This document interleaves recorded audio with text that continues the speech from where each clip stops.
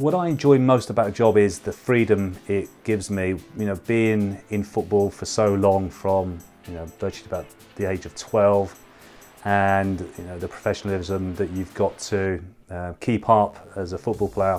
It was good to come out of sort of a team sport into uh, this business where you know it's really just you and the markets, and it's the freedom that it gives me that you know. Um, I can eat what I want, drink what I want, go on holiday when I want, watch my kids grow up, and, and it just gives me the freedom to, to do what I want.